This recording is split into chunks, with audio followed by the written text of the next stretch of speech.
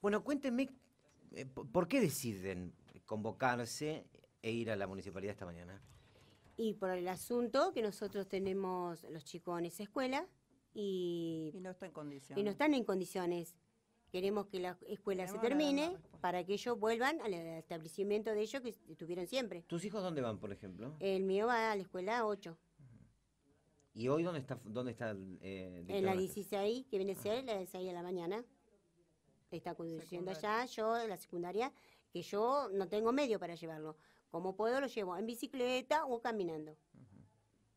Me gustaría que la escuela la terminaran para que los chicos volvieran todo al establecimiento donde ellos empezaron siempre. O sea, ustedes quieren que sus hijos se crecen en la escuela 7. Exactamente, ¿eh? y la secundaria 8, que están ahí. Me gustaría que eso se terminara lo más pronto. Alejandra, ¿y en tu caso? Bueno, mi hija van las dos a las 16. El año pasado fueron todo el año, que era por un mes. Fueron todo el año a la escuela 16. Y este año, bueno, va mi hija Belén y Candela a la escuela 16. Pero no es el caso, porque yo por ahí tengo para mandarla, por ahí no. El remis es caro. Sí. Pero ¿qué, qué nos dijeron eh, acá en el Consejo Escolar? Que cinco días para arreglarla. Es mentira, porque hoy estuvimos mirando y falta un montón. La obra había empezado. Sí, Sí. había empezado. ¿Qué sí, se sí, hizo sí. hasta ahora? Y se hizo la parte de abajo, que está terminada, pero falta la de arriba. Falta la parte de arriba. La luz. eh, Ahí el problema era el techo que había Sí. filtraciones con la sí, lluvia, ¿no? sí, sí, sí. Y había un peligro Era eléctrico. peligro para los Sí. chicos. Sí. Y en esa planta alta funcionaban algunos grados de Eh, secundaria. secundarias. Secundario. Exactamente. Todos. Todos. Primaria y Silvana. secundaria. Silvana Primaria- Alonso, que es la directora de la Escuela 8. ¿Cómo te va? Hola, buen día, ¿qué Eh? A ver, a- clarificame un poco esto, por favor. Eh, bueno, en realidad, eh, sí, en la planta alta de, de la escuela funciona en turno mañana, funciona eh, la secundaria 8. ¿m? Y en la planta baja funciona eh, la primaria. Eh, al no poder eh, continuar eh, con, con, digamos, con la parte de arriba, no podemos, no pudimos estar más. Ustedes tuvieron que suspender las clases. Tuvimos ahí, que ¿no? suspender porque, bueno, estaba muy deteriorado, ya se nos había caído una parte de... Y entonces, bueno, nosotros con la directora de primaria decidimos que así no podíamos continuar. bueno, entonces, a raíz de esto, eh, empezamos a... Al principio empezamos a rotar. Eh, los chicos tenían clases así un día, otro no, a lo mejor dos, dos veces por semana tenían clase. Hasta que, bueno, eh, nos dieron eh, la escuela 16 y la secundaria 6, eh, nos hizo un espacio, que también esto implica complicaciones para la escuela, ¿no? Porque ellos, por ejemplo, nos dieron la, el Zoom, eso es, eh, el lugar donde ellos hacían los actos y la escuela primaria Ahí también. montaron una especie de aula. ¿no? Claro, eh, ahí funcionan dos aulas de la secundaria 8 y mm, otra de las aulas que, digamos, la, la secundaria 6 eh, puso a sus alumnos en la sala de donde tienen los videos y los instrumentos musicales. eh, entonces, y nos dio otra aula a nosotros. O sea, esto también implica eh, complicaciones para, para ellos.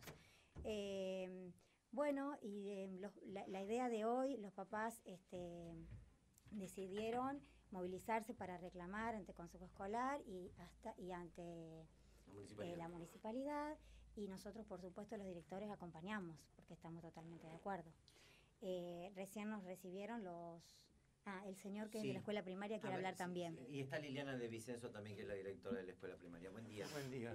Eh, nosotros somos padres del- de la escuela, pero de primario. Tiene dos veces por semana y eso no es eh, justo, porque no aprenden nada. Claro, el caso también que aquí me contaba la mamá le pasaba. Claro. Entonces, no, no sé lo que pasa. Queremos que ellos vayan todos los días. El año pasado teníamos en otra escuela, iban todos los días y bueno, aprendieron bastante, pero este año es, es difícil. ¿Usted que tiene hijos ahí en el Sí, en sí, sí, sí, primario, ¿A qué grado van? eh, tercero. Y dos veces por semana. Y yo tengo la nena. acércate, acércate al micrófono. la nena mía va primero también. Tiene dos veces por semana. Y todos los días me pregunta, ¿cuándo tengo clase? No sé qué decirle. Ni, ni no sabe ni a dónde está parada todavía. Y bueno, eso también es muy feo para los primeros, los chicos que empiezan primer grado, no, para mí no es, no está bien que vayan dos veces por semana. Pero bueno, la culpa no son de los maestros ni de los directores. Así que bueno, ojalá que podamos solucionar esto. Ojalá el intendente ¿Vos también tenés un chiquito en el primario? Sí. Eh, el mío igual que el de ella está en primero, en primer grado, y bueno, y, y también me parece que es injusto que vayan dos veces por semana porque no aprenden nada los chicos. Ni a leer van a terminar de aprender. Liliana, buen día. ¿Cómo te va? Acércate ahí, ahí, así te escuchamos bien. Liliana de Vicenzo, séntate por favor, ponete cómoda. Hoy nos ha quedado chico el estudio. ¿eh? Eh, Sí, bueno, lamentablemente. Liliana Di Vicenzo, debe decirles, es la directora del nivel primario de la. Escuela 7. ¿eh? Yo, yo lo que quiero saber es, la obra empieza, ustedes tenían una manera de, se- de hacer un seguimiento de la obra, esto lo manejaba el Consejo Escolar, ¿cómo era administrativamente?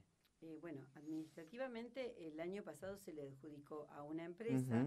Nosotros no tenemos potestad sobre la eh, supervisión de, De la obra, mm.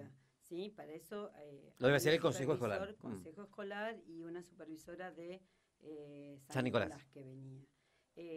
Lo real es que hace cuatro semanas atrás vino una supervisión de infraestructura de La Plata y en ese mismo momento se presenta un representante de la empresa y nos eh, comenta, nosotros no estábamos en conocimiento porque justamente no es parte de nuestra función, eh, que ellos no habían recibido nunca ni siquiera el adelanto que se había prometido el 13 de febrero que iban a recibir para hacer un comienzo de obra, que con esto habían puesto plata de su bolsillo y que en estas condiciones no iban a poder seguir. Eh, desde ahí no tuvimos nosotros más contactos, sí seguimos como directivos eh, reclamando e informando tanto a jefatura distrital como a consejo escolar y bueno, eh, la respuesta era esto, que sí, que seguramente se iba a, a lle- a llegar en tiempo y forma. El plazo eran los tres meses de, de En vacaciones. Los tres, los tres meses, desde el 13 de febrero que se hicieron nuevamente cargo, se vencen ahora el 13 de mayo. Y por lo que también nos decían, eh, no faltaba mucho tiempo. Ellos necesitaban todavía bastante material, que eran ventiladores, calefactores, eh, partes de cielo raso de Durlock para Mm. terminar eh, la galería de planta alta. Y con eso, ellos estimaban que con esos materiales en 15 días podían terminar la obra. Es decir, Pero que la empresa en el mientras tanto estuvo cumpliendo con las obras. Sí, sí, sí, Mm. por eso ellos nos eh, informaron ese día que habían puesto plata de su bolsillo y demás, y que la preocupación estaba instalada en eso, que no habían recibido.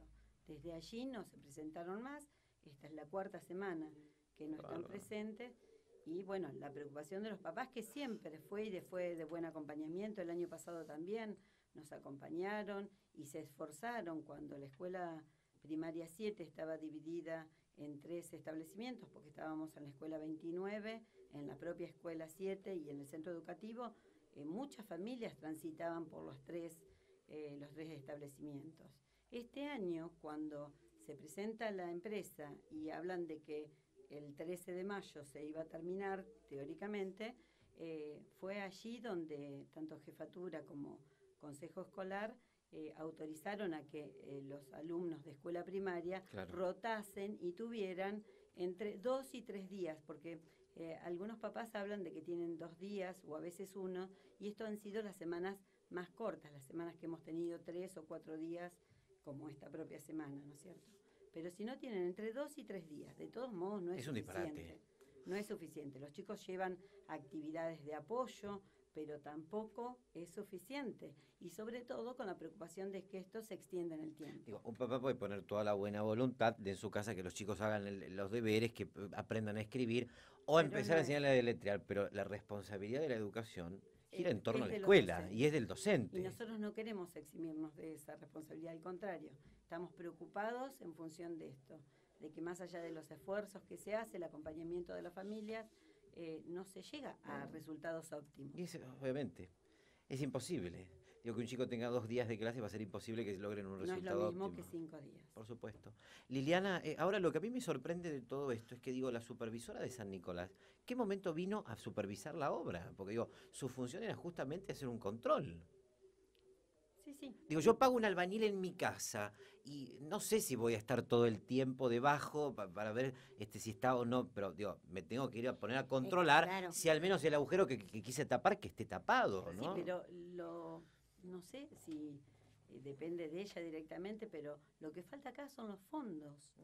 eh, que justamente que le paguen a la empresa para que la empresa pueda terminar su trabajo. Pero digo, la supervisión también incluye eso, porque evidentemente si la empresa hubiese dicho, bueno, no tenemos los fondos, digo, el encargado de continuar con la obra, o en este caso de supervisar la obra, debería haber remitido un informe al organismo que corresponda, a la municipalidad, al Consejo Escolar, eh, la Dirección de Infraestructura de la provincia de Buenos Aires, decir, señores, desembolsen el dinero porque tenemos que continuar. Sí, Claro. De- debería ser así, tal vez es así, o sea, nosotros no te puedo dar respuesta, tal vez consejo escolar sí te puede dar una respuesta en ese eh, sentido puntual. ¿A ustedes les respondieron esto? ¿Se lo preguntaron al Consejo Escolar? El consejo escolar recién estuvieron los papás, nosotros con Silvana acompañamos y les dijeron que ellos permanentemente llaman a La Plata y que no tienen respuesta. Qué disparate. A ustedes los recibieron los concejales, ¿no? Sí. ¿Qué les dijeron? Y bueno, el concejal eh, le dijo que Leticia Uria y el otro concejal dice que la plata hay. Que plata hay, pero Irma Tineo dice que no es, que es provincial. Que, para que termine la obra. La plata hay, digo que que había, plata hay, que es pero no. Nos dice que es de la provincia, que viene de allá. Por eso no la siguen haciendo. Qué drama, ¿eh? Porque Leticia dijo que ella nos iba a ayudar en todo, igual que Paniagua, para que esto se solucione rápido. ¿Ustedes procuraron, digo, poder hablar con la intendente Antonia Jevic? no, no, No, Ujú. ¿Ustedes querían hablar con, con ella para plantearle? Claro. Sí, sí, para que Sí, sí, sí. El miércoles que viene se comprometió Tineo a, a dar una respuesta. sí, sí. Sí, sí, eso lo dije. Esa respuesta que incluiría, por ejemplo, la reanudación de la obra, que es lo que a ustedes más les interesa. Sí. Digo, que alguien diga, bueno, el dinero llega, la Claro. partida es tanto, Y- y- vamos a continuar. Se Sí. termina en tal tiempo. Y en tal tiempo... El plazo estimado es 15 días. 20 Porque ahora imagino que hay que acelerar todas las tareas, porque digo, ya el 13 de mayo era la, la fecha, Sí. estamos a 11 días. Claro, Y en, en lo que ustedes acaban de contar, digo, yo no sé si en 11 días lograrán terminar todo eso. Ojalá sea, ojalá ¿no? Digo, sea, poniendo una eh, cuota de eh, eh, optimismo. exactamente, ojalá que sea así. Pero Pero en el consejo escolar nos dijeron cinco días. No, pero es mentira. Pero en es cinco días no, en cinco días no Pero se es puede. mentira porque yo vi la escuela y no está en condiciones. No está. En 15 Cinco días era, Para digamos, la fecha para terminar. Claro. Terminarla. Que la iban a terminar. Que sería en este lapso de ahora hasta el 13 de mayo. Exactamente. Eso es lo que dijo. Mentira. Siempre y cuando que el dinero Que llegara. llegara, Que llegara. eso. Sí. Ah, digo, son muchas respuestas en el aire, evidentemente. Aquí no hay nada en concreto, digo. No. eh, argumentamos, damos una respuesta, tal vez para buscar el conformismo de los padres, que se queden tranquilos, pero en el mientras tanto la situación sigue siendo la misma. Sí, exactamente. Porque capaz, ahora nos dijeron, ven, volvemos el miércoles para que nos dé una respuesta. Vamos a ver qué respuesta, pero no, no sabemos si es que van a seguir o va a quedar así, o cuánto tiempo más. La única respuesta es que terminen la escuela. Claro, lo que nosotros queremos. Queremos que- fotos que ya faltaba muy poquito para terminarla y ahora está todo parado. Está- Pero la parte de abajo pasó. Claro, la parte de abajo, pero que eh, es para todo, para, hacer, eh, para mostrar que No es política, no y- es política, estamos por los chicos, no es política, no, no, no estamos por la política, ni estamos tampoco en contra de la escuela 16, porque nos dieron un espacio a nuestros hijos para que vayan. No estamos en contra de la institución, porque todas dicen no, porque no. Estamos por los chicos de la escuela 8 que queremos que vuelvan a clase, a la escuela, Claro. tanto primaria como secundaria. Es todo. ¿El miércoles van a volver todos? Sí, Sí. vamos a volver y espero que la intendenta nos atienda. Eh. ¿eh? ¿Han solicitado una audiencia con ella? no sé, los Han solicitado en el día de hoy, pero los recibieron allí en el despacho, Sí, ¿no? sí, sí, sí. Ah. ¿Y qué les dijeron? ¿Estaba Antonio Jevica aquí en Baladero o no? No, no nos dijeron no nada. de dijeron nada, solo Irma nos atendió, que nos dijo que ¿Y el consejo qué les propuso hacer, que los concejales? ¿Qué les propusieron hacer? Digo, ¿qué, ¿qué intervención pueden tomar ellos? ¿Les dijeron vamos a hacer tal cosa? ¿Los vamos a acompañar? ¿Algo? Sí, No, que nos van a acompañar. Que lo van a acompañar. Que ellos nos van a acompañar. Para que se pueda terminar la escuela. Pero hay que ver. ¿Cuántos chicos son que están con esta situación? 350 de primaria.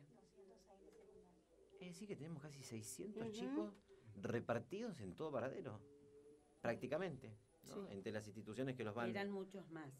En este tiempo hay familias que han optado y con dolor uno otorga el pase cuando eh, deciden cambiar a sus hijos a otra escuela. Eh, sea que la Otro, de lo que podríamos decir, otro daño colateral de lo que viene dejando todo esto. Totalmente. No estamos sufriendo. Porque digo, eh, también quien dice que si esto, digamos, demora, ¿qué decisión pueden tomar ellos también? Que es otro de los puntos. ¿Cuántas cosas? eh? Aquí no se trata solamente del dinero y finalizar la obra. Acarrea un montón de situaciones familiares, la educación de los chicos, eh, su formación fundamentalmente, y la lucha obviamente por la escuela pública. A lo mejor si ustedes pagaran una cuota todos los meses tendrían más suerte, Sí. ¿no? Sí. Si pagaran una cuota este, de mil, o dos No, mil pero pesos. El Estado es responsable de la educación. Y estos chicos tuvieron la suerte de caer en la escuela pública. Yo no comparto esto de caer en la escuela pública. Hablo de, al menos desde lo personal, elegir la escuela pública. Otro error, lamentablemente. No, pero no- el error no es la elección de la escuela pública. No, otro error del pensamiento político, que obra en base a su pensamiento. Por eso, hace un año y medio que esta gente está esperando, y ustedes, que los chicos vuelvan a una escuela. Exactamente. Gracias por haber venido. No, ¿eh? Esperemos que tengan mucha suerte. El miércoles los vamos a estar acompañando. Bueno, Bueno. gracias. Los directivos y los papás de la secundaria 8 y la